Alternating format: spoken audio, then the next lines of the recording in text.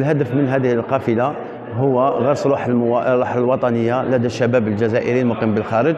سعيدون اليوم كقطاع شباب الرياضة باستضافة شباب الجالية المقيمة بالخارج في بلدهم الأم أرض الشهداء. إحنا أولاد الجزائر ساكنين في فرنسا.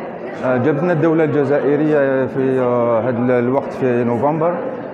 باش نشوفوا الشهداء والمجاهدين. بابا الله يرحمه كان مجاهد حكى لي على واش صرا في الثورة وأنا ماذا بيا بنتي ثاني نعاود نحكي لها. يعني تكون la mémoire تاع التاريخ تاع بلادنا تبقى. زرنا مسجد عقبة. ما شاء الله هذا المسجد يستاهل يكون مسجل في ال patrimoine mondial de l'UNESCO